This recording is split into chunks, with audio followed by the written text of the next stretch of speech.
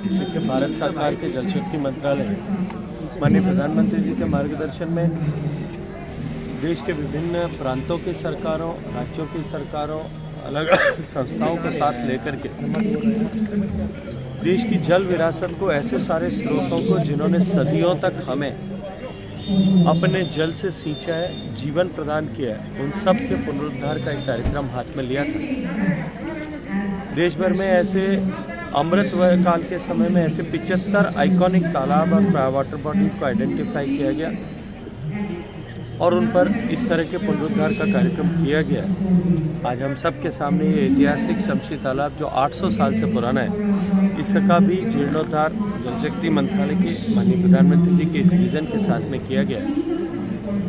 आने वाले समय में इस तालाब की संरक्षण की ज़िम्मेदारी आसपास के लोग लें। ये एक जन आंदोलन बने, जनता का इससे जुड़ा हुआ, इसके निमित्त आज का एक कार्यक्रम है।